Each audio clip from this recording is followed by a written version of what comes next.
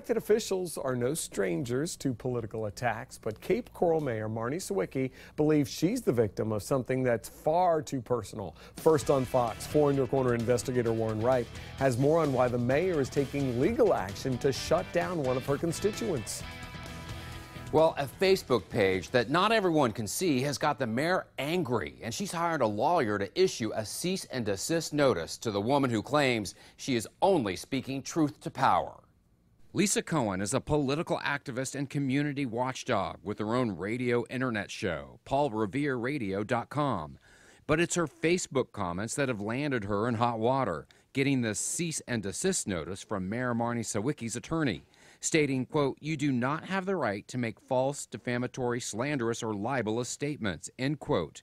Cohen said she was surprised by the letter. I will not have my First Amendment right squashed by some person who thinks that she's above the law, the law of the land, the true law of the land, Constitution. She's out of her mind. In Cohen's Facebook statements, she characterizes Mayor Sawicki's moral behavior as questionable and considers some of her actions as mayor improper.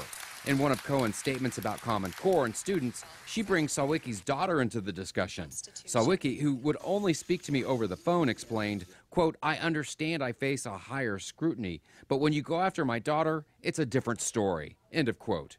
Cohen responds that those statements the attorney points to were taken out of context. You can't just take somebody's written information and just piece and cut and paste little pieces so it works to your advantage. That's egregious.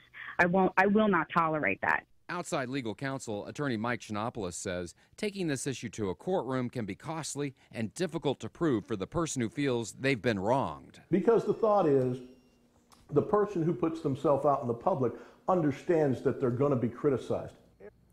Now, Chilopoulos adds that even if Sawicki wins her case, proving damages is just as difficult. Oftentimes, the awards can be a limited amount, even as small as $1.